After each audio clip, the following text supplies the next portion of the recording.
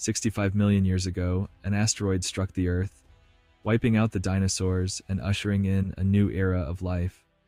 In the aftermath of this cataclysmic event, the world was forever changed.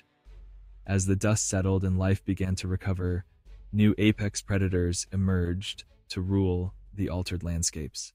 Among these, one creature stood out as perhaps the most terrifying of all Titanoboa, the largest snake to have ever existed.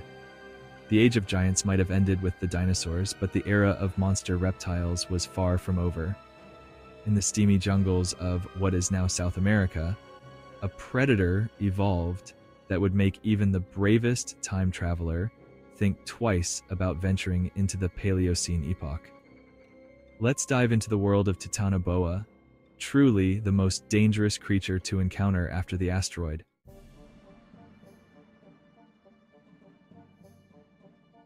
The story of Titanoboa's discovery is as remarkable as the snake itself. For millions of years, this giant serpent lay hidden in the rocks of the Cerrejón Formation in La Guajira, Colombia. It wasn't until 2009 that a team of scientists, led by Jonathan Bloch and Carlos Jaramillo, announced the discovery of this prehistoric monster to the world. The fossils were found in an open pit coal mine among a treasure trove of other Paleocene animals and plants. But even among these fascinating finds, Titanoboa stood out. The sheer size of the vertebrae immediately caught the scientists' attention. These weren't just big snake bones, they were colossal. After careful study, the new species was officially named Titanoboa cerrejonensis. The name Titanoboa translates to Titanic boa, a fitting moniker for a creature of such immense proportions. Despite its name, Titanoboa wasn't actually a boa. It belonged to its own genus within the family Boidae, which includes modern boas and anacondas.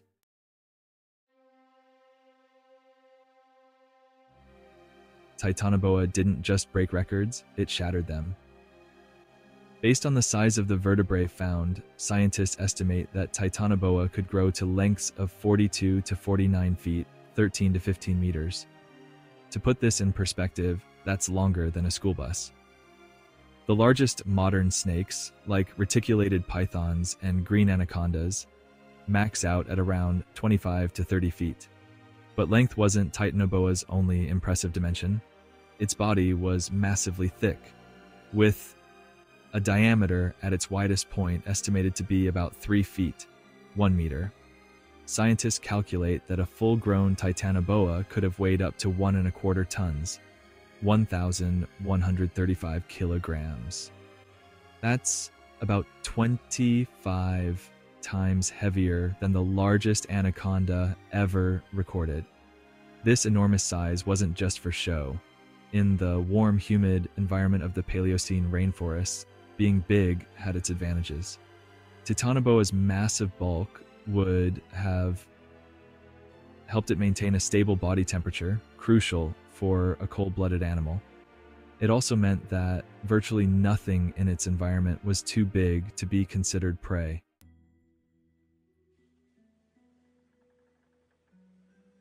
Titanoboa was an apex predator in every sense of the word, its hunting strategy was likely similar to that of modern anacondas, but on a much grander scale. As a constrictor, Titanoboa would have ambushed its prey, striking quickly to seize the victim in its powerful jaws before wrapping its massive coils around the unfortunate creature. The strength of Titanoboa's constriction would have been immense. Modern anacondas can exert pressures of up to 90 pounds per square inch when constricting prey. Given its much larger size, Titanoboa's constricting power could have been several times greater, easily crushing the life out of even the largest animals in its habitat. But what exactly did Titanoboa eat? The Paleocene forests were home to a variety of animals, including primitive crocodiles, turtles, and a diverse array of fish. All of these would have been on Titanoboa's menu. However, given its enormous size, Titanoboa may have specialized in taking down larger prey, possibly including the early mammals that were beginning to thrive in the post dinosaur world. Some scientists have even suggested that Titanoboa might have been capable of eating small dinosaurs had they coexisted. Fortunately for the diminutive early mammals of the Paleocene, the non avian dinosaurs were long gone by the time Titanoboa evolved.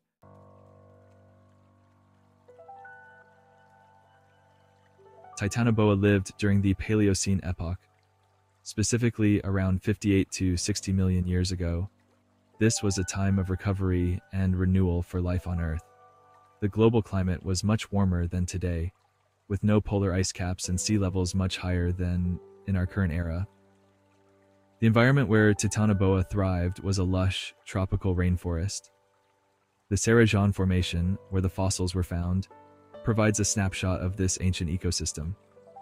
It was a world of sprawling wetlands, winding rivers, and dense forests, all bathed in year round warmth and humidity. This hot, wet climate was crucial for Titanoboa's existence. As a cold blooded reptile, Titanoboa relied on its environment to regulate its body temperature. The consistently high temperatures of the Paleocene tropics, estimated to be about 6 to 8 degrees Celsius warmer than today's tropics, allowed Titanoboa to grow to its enormous size. The abundance of water in Titanoboa's habitat was also key to its lifestyle. Like modern anacondas, Titanoboa was likely semi aquatic, spending much of its time in or near water. This would have allowed it to hunt a wide variety of prey, from terrestrial animals coming to drink to aquatic creatures like fish and crocodilians.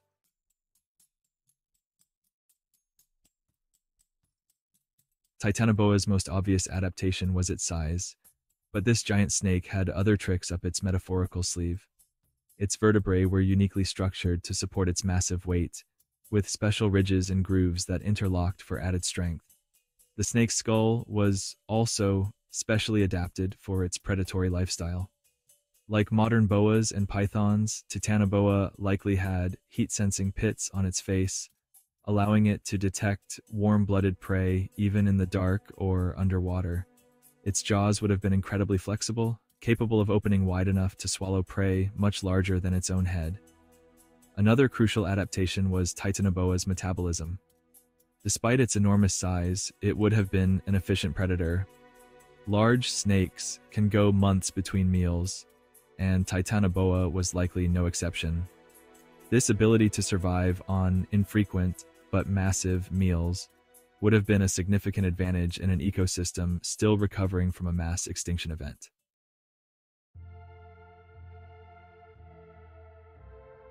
Titanoboa's reign as the apex predator of the Paleocene didn't last forever.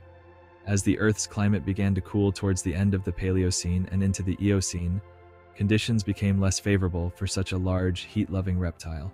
The exact date of Titanoboa's extinction isn't known, but it seems to have disappeared from the fossil record by the mid Eocene, about 50 million years ago. The cooling climate likely made it difficult for Titanoboa to maintain its massive size. As temperatures dropped, the enormous snake would have struggled to keep its body warm enough to function effectively. Additionally, changes in the ecosystem may have reduced the availability of suitably large prey. However, Titanoboa's legacy lives on. Its discovery has provided invaluable insights into the climate and ecosystems of the early Cenozoic era. The very existence of such a large, cold blooded animal tells us a great deal about the temperatures and environmental conditions of, of the time. Moreover, Titanoboa has captured the public imagination in a way few extinct species have. It has been featured in documentaries, books, and even a full size model exhibited by the Smithsonian Institution. This giant snake serves as a potent reminder of the incredible diversity of life that has existed on our planet and the dramatic ways in which Earth's climate and ecosystems have changed over time.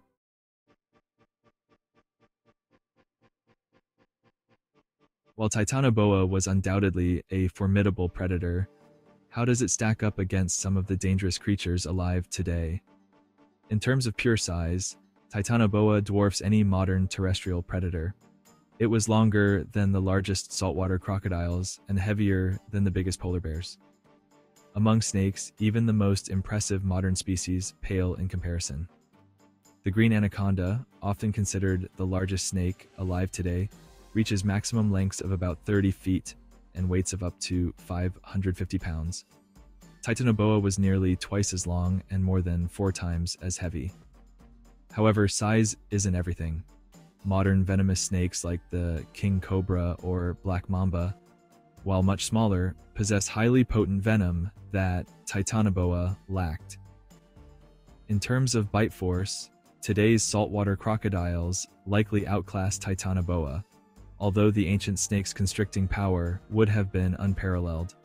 What made Titanoboa truly dangerous was the combination of its enormous size, powerful constricting ability, and the element of surprise it could employ in its swampy habitat. In its Paleocene world, Titanoboa was the undisputed top predator, a title it might well still hold, if one could encounter it today.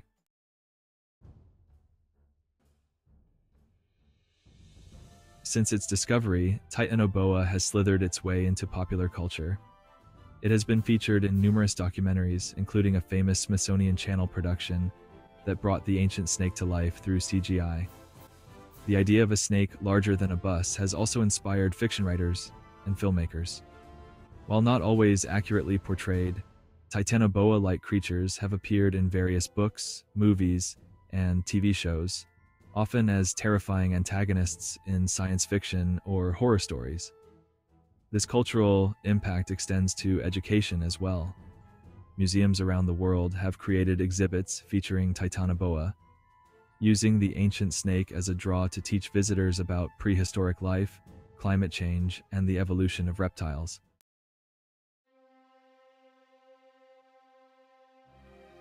Titanoboa cerrejonensis truly earns its title as the most dangerous creature to encounter after the asteroid.